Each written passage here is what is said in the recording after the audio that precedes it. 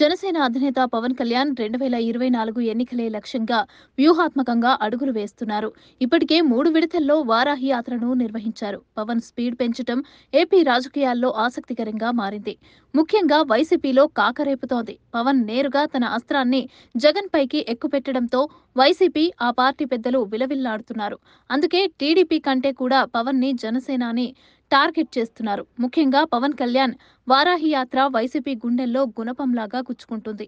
ఇటీవల పవన్ కళ్యాణ్ జగన్ను నిలదీయటం ప్రభుత్వ పెద్దలకి ఇబ్బందిగా మారింది. పవన్ చేసిన వ్యాఖ్యలు ప్రజల్లోనూ ఆలోచనలు రేకెత్తించాయి. తన పర్యటనలో ఉత్తరాంధ్ర ప్రజలంతా నిలదీయాలని పవన్ ఇచ్చిన పిలుపుకి అనూహ్య స్పందన లభిస్తోంది. ప్రజల్లోనూ చైతన్యం వస్తోంది.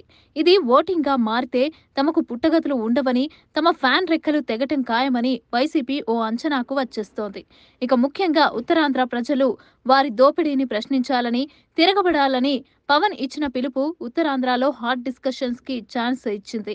ఇక ప్రభుత్వ లోగుట్టులు సైతం విప్పటం జగన్ అండ్ కోకి చెమటలు పట్టిస్తోంది. ఇక ఇలాంటి నాయకులను ఎన్నుకుంటే ఇలాగే దోచుకుంటారని ప్రభుత్వ ఆస్తులతో పాటు ప్రైవేటు ఆస్తులకు కూడా రక్షణ ఉండదని పవన్ చేసిన వ్యాఖ్యలు అందరినీ ఆలోచనల్లో పడేస్తున్నాయి. అలాగే జనసేన పార్టీ అధికారంలోకి వస్తే ఏం చేస్తామో కూడా స్పష్టం చేశారు. అలాగే తాము అధికారంలోకి వస్తే అక్రమ ఆస్తులు దోపిడీపైన సమాచారం ఇచ్చిన వారికి గిఫ్ట్ ఇచ్చేలాగా ఒక కార్యక్రమం తీసుకొస్తామని పేర్కొన్నారు. వైసీపీని గెలిపించకపోతే పథకాలు ఆగిపోతాయేమో అని భయపడవద్దని ఇంకా మంచి చేసే పథకాలు ఇస్తామని అభయం ఇచ్చారు.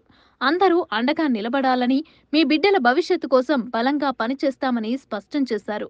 ఇక విశాఖ ఉక్కును కాపాడుకుంటామని ప్రైవేటీకరణ అవ్వకుండా అడ్డుకుంటామని తాము చేయగల పనులని క్లారిటీతో పవన్ వివరించిన విధానానికి పూర్తి మద్దతు లభిస్తోంది. తాగడానికి నీళ్ళు ఇవ్వలేని పరిస్థితి ఉందని భవిష్యత్తులో ఇంకెలా ఉంటుందో ప్రజలు ఆలోచించాలని పవన్ చేసిన సూచన అందరిలో ఆలోచన రేకెత్తించింది.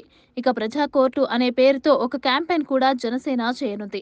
అలాగే ఖచ్చితంగా మార్పు తీసుకొస్తామని ఇంకోసారి సీఎం జగన్ అధికారంలోకి వస్తే ఏపీలో ఉండలేని పరిస్థితి వస్తుందని పవన్ ప్రస్తుత ప్రభుత్వ పనితీరుని కళ్ళకి కట్టినట్టు వివరించారు. జనసేన పార్టీ అధికారంలోకి వస్తే ప్రస్తుత ప్రభుత్వ అరాచకాలని ఎండగడతామని స్పష్టమైన ప్రకటన చేశారు. ఇక అన్ని వర్గాలని ఆకట్టుకునేలాగా పవన్ క్యాంపెయిన్ కూడా మొదలు మొదలు పెడుతున్నాడు. మొత్తంగా వచ్చే ఎన్నికల్లో గెలిపే లక్ష్యంగా పవన్ వ్యూహాత్మకంగా ముందుకు సాగుతున్నారు.